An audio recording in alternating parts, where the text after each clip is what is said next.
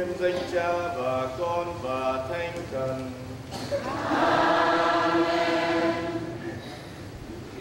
Nguyện xin ơn dùng Chúa Giêsu Kitô, triều thiên của tất cả các thánh, tình yêu của Chúa Cha và sự hiệp thông của Chúa Thánh Thần ở cùng tất cả anh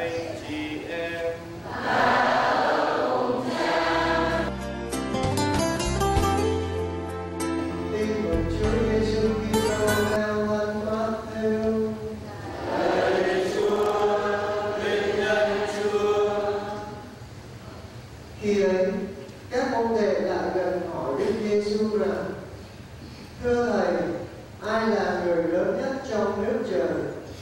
Đức Giêsu liền gọi một em nhỏ đến, đặt vào giữa nhất ông và bảo: Thầy bảo thật anh em, nếu anh em không trở lại mà nên như trẻ em, thì sẽ chẳng được vào nước trời. Vậy, ai tự hạ con mình như em nhỏ này, người ấy sẽ là người lớn nhất nước trời.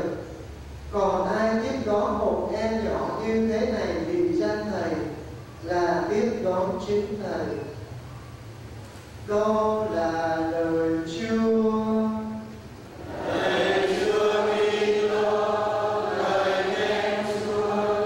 Kính thưa quý vị trên, cha, quý thầy, quý cô chị, kính thưa quý bà cô, tất cả quý vị thân nhân, thân nhân và anh chị em rất thân mến.